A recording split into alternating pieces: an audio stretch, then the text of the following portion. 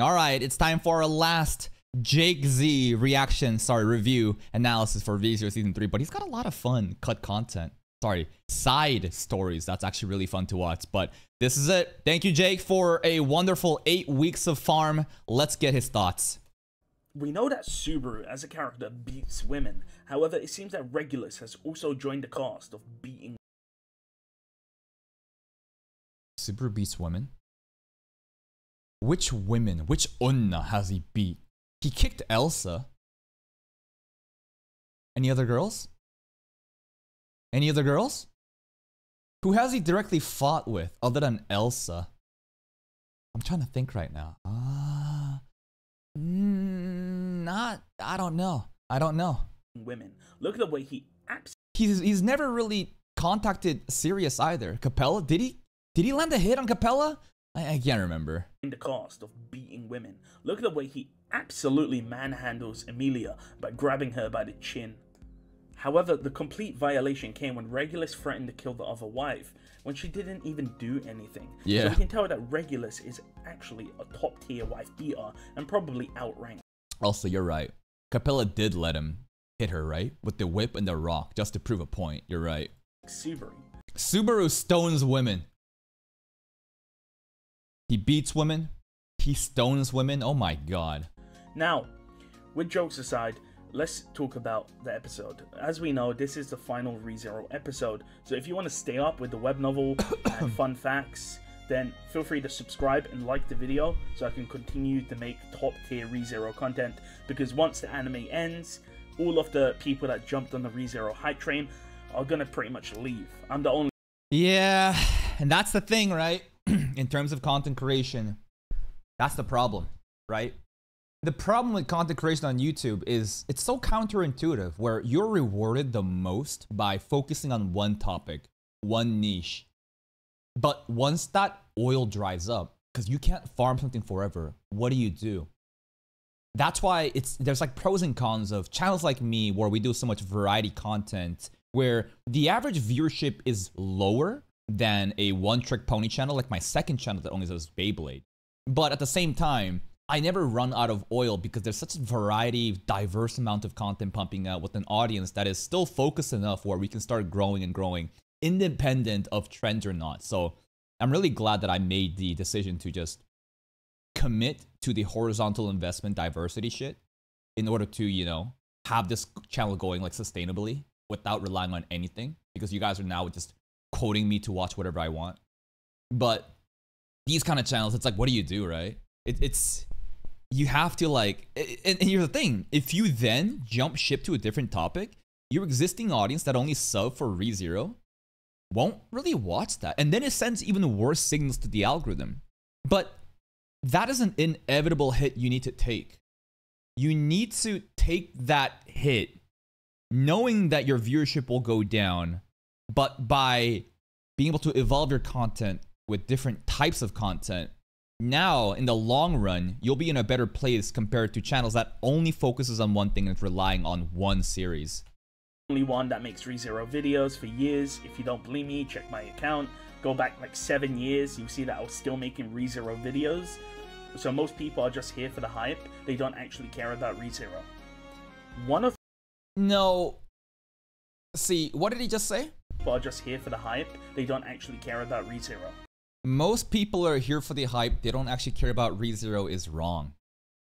Most people do care about ReZero here, but they might not care about Jake. And this isn't me trying to be rude. It's just brutal absolute facts about channels that focuses on one thing. And if you don't have a community, you have a community of ReZero enjoyers. But once the anime stops, there's a lot of tourister for sure that only care about the anime only stuff and will leave after until the new season's happening, right? So it's it's less about like they, they don't it's not as as they don't care about ReZero. They do care about ReZero. But the viewership will go down because the anime is no longer trending. And if you try to do some side stories and cut content and other stuff, that is also a very smaller portion of an audience that is hardcore about ReZero. It's not wide appealing, right? So again, it's just tricky things to maintain when you are so investing vertically into one thing only and once that trend dies down how do you survive right once the trend dies down that reflects your true community. That is your true home base of people that will watch you for you rather than the topic you're covering. And that shit is so hard to cultivate, consolidate. It takes so much time. One of Reinhard's feats, which show that he's really strong, is the fact that he just kicks a door off its hinge and it absolutely splatters Regulus to the floor. Of course, if that was a normal person, they would have been dead. If that was Subaru, he would be dead. But it just goes to show, like, even a random kick just absolutely demolishes most Mhm. people. Not only that, Reinhard has the ability to just get random divine protections if he thinks about it. That's probably one of the best moment. He's like, give me a second. Beep boop, beep boop. All right, I got a call. I got the divine protection. So he was able to just think about it and then get a divine protection, which allows him to see what divine protections people have in order to see what Liliana has. And if he wanted to, he could actually just wish for that divine protection and get the divine protection of telepathy. Well, if there's a divine protection that counters Saiyans, I I could agree. Right? But Goku's in, again, this is a stupid fucking example to make. It's just for fun.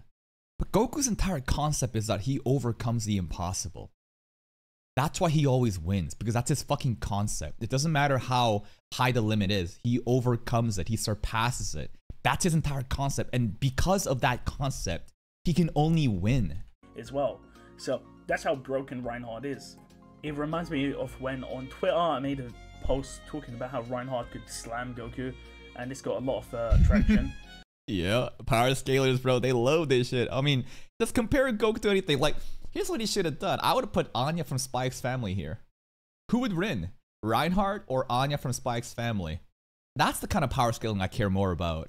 and what's really interesting about the responses is people that talk about Goku don't actually know Goku's powers, and people that talk about Reinhard usually don't talk about Reinhard's powers or know his powers. Like if you were to take it to the extreme, because there are some busted divine protections out there Yeah, and if again, if, if a divine protection exists where it's just like he is, he can't lose to fucking immigrants. Goku is an immigrant, bro. He's an alien. Reinhardt can't lose to. He's he's always favorable against a Saiyan or some shit, right? That, that seems like an absolute law. I don't know if you could break that law. If Goku's concept could surpass that, maybe.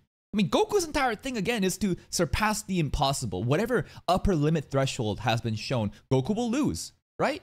It's always the same shit. He first loses against the strongest new person that showed up. Then we train, train, train. Vegeta then gets sacrificed for no fucking reason other than to glaze Goku. Then Vegeta says, Kakarot, I leave it to you. And then Goku says, All right, I'll do my new thing. New form, new power. Fucking, we win. Uh, Next. That's that's that's pretty much the story of Dragon Ball. where just landing one sort of little scratch would essentially make Goku lose. On the subject of Dragon Ball, I want to talk about the Yamcha of ReZero. Who is that? Yamcha Felix. is Felix is Yamcha ReZero. Say it. Not Crusch. Not Crusch. just gets L after L. And in ReZero, this character is, of course, Crusch. It does I'd say Crusch and Felix is getting L after L. At least Crusch had one defining moment during the White Whale subjugation where she led with the leadership, the speeches. It was so great. Felix from the beginning has only been taking L after L after L, in my opinion. doesn't matter what happens. Like Crusch cannot catch a break. She just gets dunked on by anyone. Yep. L- Lust, Gluttony, Regulus, like all of them has slammed her up. Like Yep. absolutely decimated her. True. Not only that, in If Fruits, Crusch gets absolutely annihilated by the White Whale if Subaru is not present. Yo, what the fuck is Tappei's deal with Crusch Camp? Why? Why is he doing this? He made him look good just for a bit in season one, and then after that early lead, and here's the thing, right? What happens in early leads in fight, guys? Early lead is never good. Early lead happens, then the opposition gets like a flashback, and then they get a new power and win. Crusch, their camp, they got an early lead. Season one, they were ahead. And then no more. It, it's done. They're getting cooked. Felix just also kicks L after L after L. Wilhelm, man, if he dies, and I think he will die, I think that it's very fitting for the Sword Saint and the Sword Demon to die together. And maybe there's some sort of closure, sad, tragic closure with Reinhard and his grandfather before, you know, his last, you know, words. I could see that. I could totally see that happening. if Wilhelm goes to dude, this camp is cooked. Which means she's also getting destroyed by Sloth as well. So like everyone's just gangbanging Crusch. And Yeah. Absolutely destroyed. Okay? So she's an absolute loser in ReZero. She addition is. Crusch, It sucks. I want to see better of these people, but like Jake isn't wrong. They are losers right now, and that's an objective fact, and I wish that they could be better. you have Felix, whose main forte is healing. Yeah. But like whenever Crusch gets absolutely dogpiled, Can't do shit. He can't do anything. Like, Yeah. he can't heal her. He can't out heal authorities. So he's also by extension useless. Yes, Felix is the most fucking useless character that has gotten this level of glaze. I don't care about Felix fucking patching up wounds and little cuts and maybe even attaching arms. This is some mid healer shit. You are the strongest healer in Lugunica. You should be fucking performing miracles, bro. You should be fucking cleansing curses, authorities, or whatever, but it's looking like water magic is nothing in the face of authorities, curses, other powers, right? It's just they can't compete.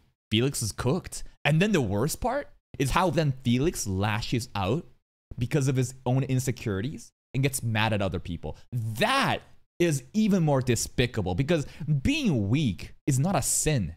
But to lash out to your insecurities and get mad at everyone but yourself? Oh my god, that's some fucking loser behavior. Felix, come on. Why is Felix just trap, you know, cat boy? But that's it. Nobody gives a fuck about Felix other than a little bit of fan service, which died off as soon as fucking Felix, you know, bit the Subaru's ear in season one, and that's been it. That's it. So again, Felix and Crusch are the Yamchas of uh, ReZero, and that's a fact. Some Agreed. like Crusch, but she's a loser.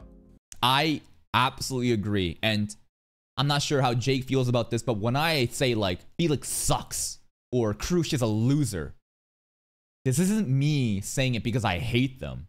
This is an objective fact, an observation anyone can come to. And I wish they could be more hyped up. That's it. That's it's like a it's like coming from a place of frustration because they should be better, but wah wah. Crusch-san tells me to leave the rest to me, to Subaru, right? Then I personally think she has great heroine powers. I like her. yeah? I think you like shitting on her. By the way, during that episode, Tappei actually said that he likes Crusch and that she sort of displays this sort of Who? What, what other characters does Tappei like? Because we should be worried for them. heroine power, which is really funny because he likes Crusch and she literally gets dunked on 24 7. Like, Here's the other thing, though. Um, this could be an insane amount of buildup. Because if you're taking this many L's and this many shitty things happening, if he has plans for a complete reversal, a complete redemption, this is the build-up stage. And later on, maybe there's a moment where all these sufferings actually pays off in such a great way. But again, if that doesn't happen, womp womp. I know this is going to be a hot take and people are going to be like, oh, Crusch is the best. Um, but yeah, okay, she's attractive, but she loses everything. Like, what's one win that Crusch has done? Like, aside from season one of the speech and leading people, it's that's pretty much it. nothing, okay? The, the furthest back you'll have to go is like the EX novels, and even then, it's just like she hasn't really done much. Damn, even in the past, the EX novels, which we will be covering, we will be doing the EX stuff, I think, as February rolls around. But goddamn, as a character. Now, one of the most interesting uh, loose ends was the Otto. Tome of Wisdom, and we see that Otto independently. he can't say Otto. But in the previous videos, he wasn't. Uh oh. He can pronounce the T. I, I'm confused about this lore of why Jake switches it up. Uh, loose ends was the Tome of Wisdom, and we see that Otto independently gathered up all the scraps of burned Tome of Wisdom, and he's trying to restore them to see Hmm. Roswaal's plans because he doesn't trust Roswaal. However, I don't trust Otto, and if you've watched my content, you will understand why. And again, Tappei goes into this. He says three people that can act safely independently: Reinhard, Otto, and Roswaal. Otto is Pandora. Yep, yep, Otto is Pandora. What? Roswaal is really strong, right? Reinhard is really strong. He's the strongest character in anime. But Otto? He's got like no powers. He's got nothing. Like what? He's got like utility and luck, I guess, right? His soul of the language, divine protection, and being able to use insects to his powers, but he's also lucky because if the mercenary, you know, guards didn't show up from Kiritaka's place, he would have just died to gluttony. But like, what if that's all a lie? What if all of it it's a lie and he's Pandora? Like, how, how is that possible? How can Otto be more safe and independent than someone like Subaru, for example? Lucky or as fuck. Aldebaran or Priscilla. It makes no sense. I know. Now, it's crazy. I do feel like most people will miss Priscilla's characterization in this arc. You Hmm. can see that Priscilla asks if Subaru was the person that spoke on the broadcaster. Yeah. And then she offers to help. And this is something that you need to really understand about Did she offer to help? Or did she says, "Oh, you peasants. I guess I could do you a favor. I'll like it's a reward for you that I'll help." Yeah, it's an offer, but it honestly sounded like you should be grateful that I'll help you out.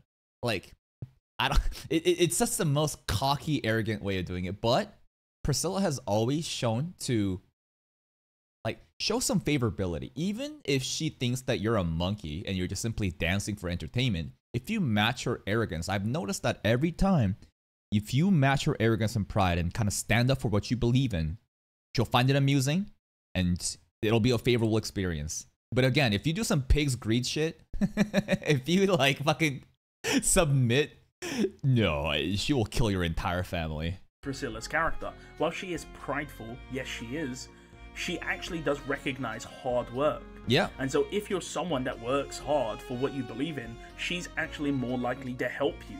And that's Yeah, she has these uh I don't want to say dictatorship like qualities, but very cocky, very arrogant. She's very capable and she respects meritocracy. If you can prove with results, then sure, like you're good. And that's it. That's what she's doing in this scene because she actually sees that Subaru is a good character and has actually given him props for what he's done. So she actually does like the speech, even though it's not really inherently said. So maybe she's a bit of a tsundere, but that's something Yeah, I definitely think that Priscilla is closest to a tsundere compared to any art other archetypes. And we specifically saw her smiling. Every royal candidate, you know, was smiling when we were doing the speech. Minus Crusch, because, you know. that Thank you, Artie, for the two months of Prime, man. Appreciate it. I feel like most people will miss and they'll still think Priscilla's kind of cold.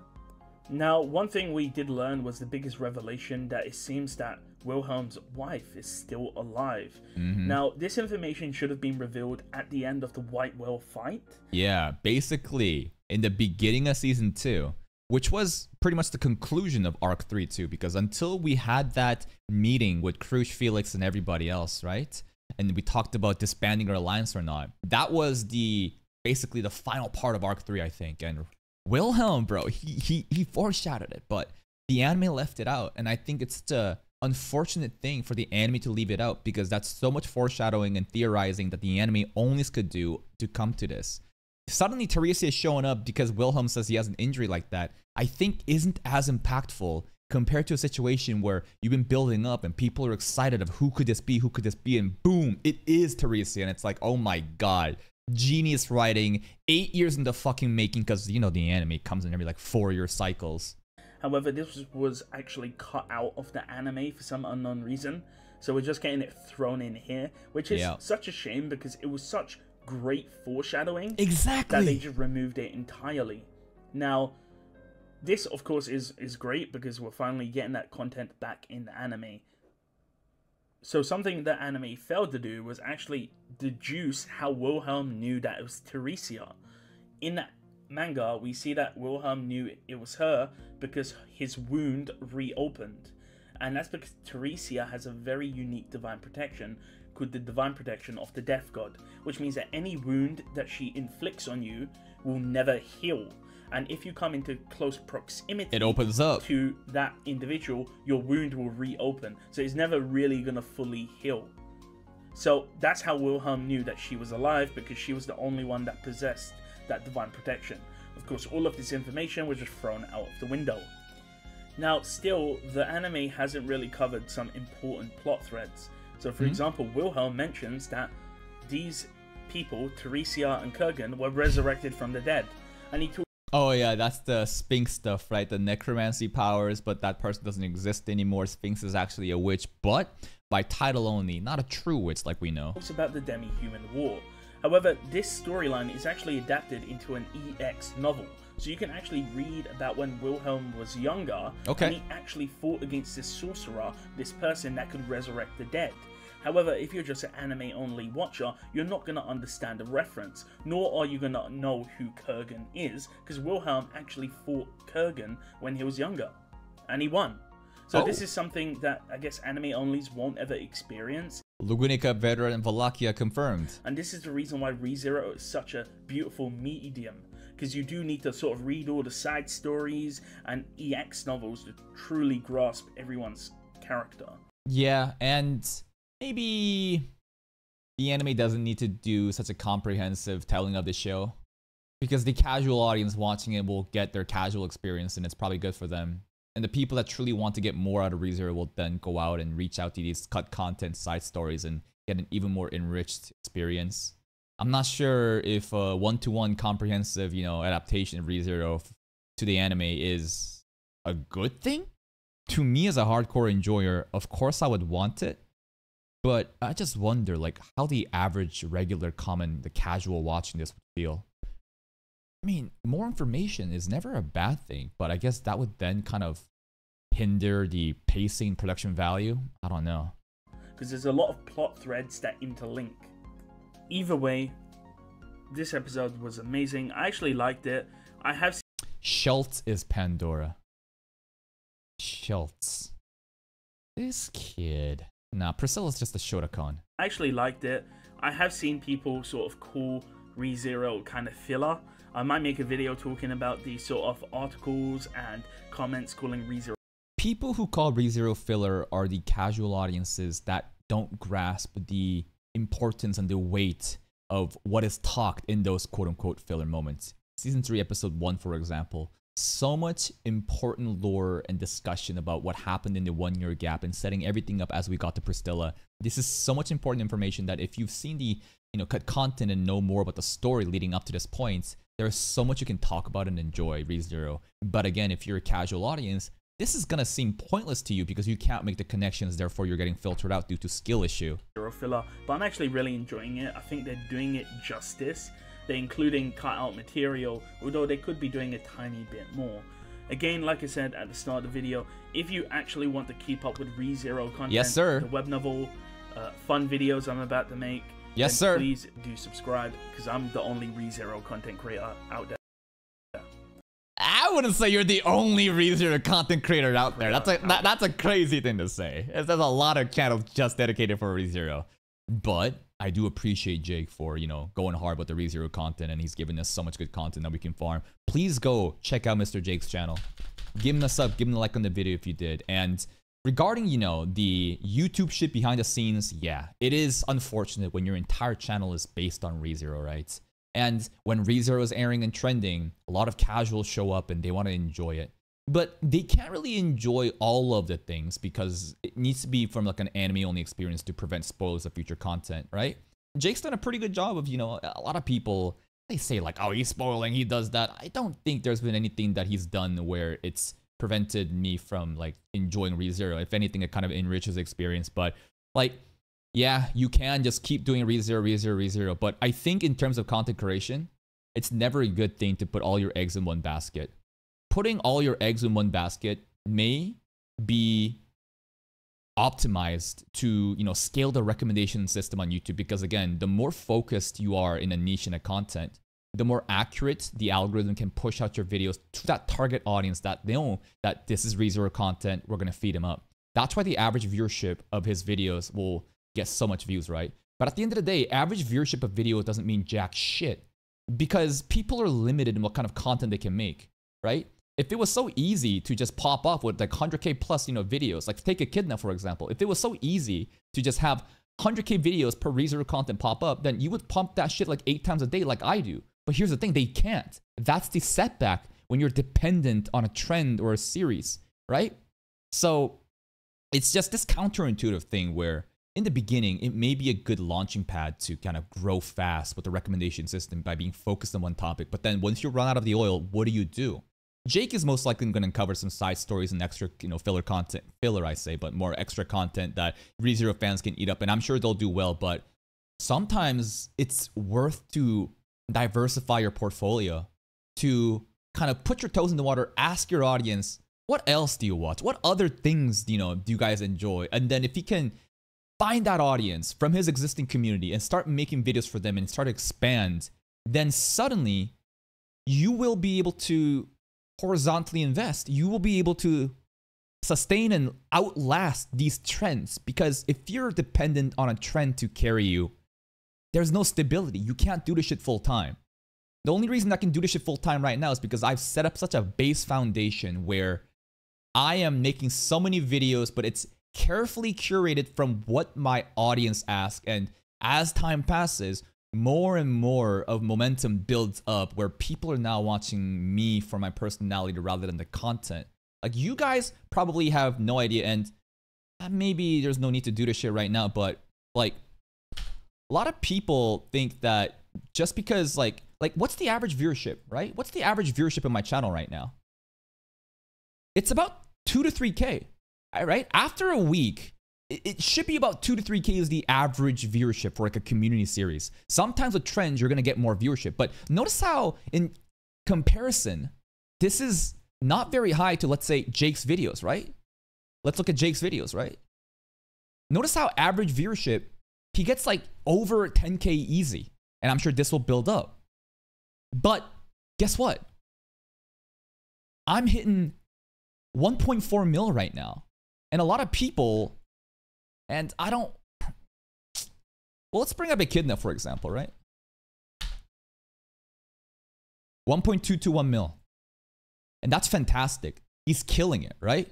But when ReZero goes out of style, a channel of 308k subs, even when the trend is happening, I'm doing better.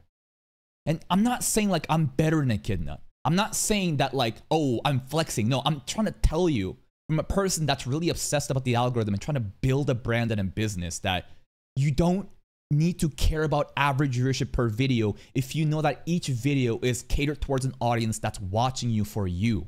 Me, bro, like Echidna gets hundreds of thousands of views per video, right? The average viewership is so high because it's so locked in into this re-zeroed niche right? He's also had an early market capture because I think he's been making ReZero videos like five years ago, along with Jake, right? That's great. But how the fuck is a person like me that's not even crossing 5,000 per average view viewership on a video doing better than someone gaining like this? Because average viewership doesn't fucking matter.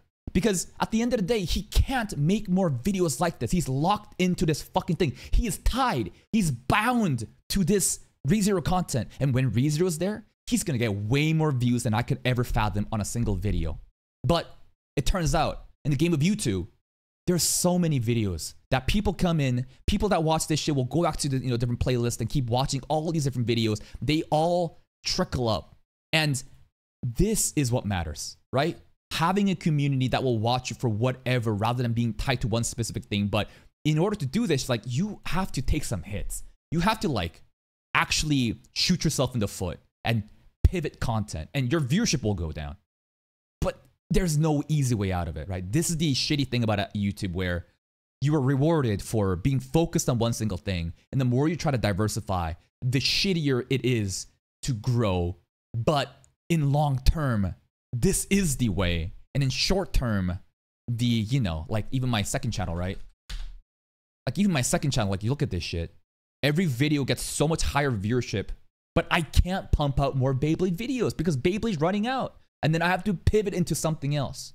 So I'm getting really off topic here. This is just a whole tangent about why average viewership doesn't matter because some people can't simply pump more of that content because they're bound to that specific content there's limited of but if you're able to somehow some way round up the monkeys and make dudes watch you for whatever it is it's a lot more sustainable in the long run.